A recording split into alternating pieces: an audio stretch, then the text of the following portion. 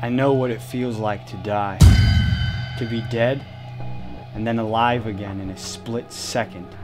Oh, please, man. No revenge, man. You said you said no revenge. It's not revenge, it's a hunt. And when I hunt, I tend to get what I'm after. Where is she? That's the worst part. She's back with Sweet William. Can you help make a deal? Can you get her back? Are you strapped, Deke? This guy brings serious heat. He's got guns, bodyguards, the works.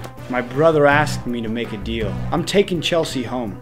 For that, I'll let you and these three dumb fucks keep on breathing.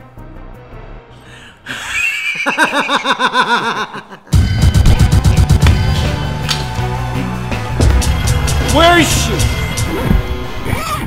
You said it was over. No, no hard feelings. I lied. I'm flawed that way.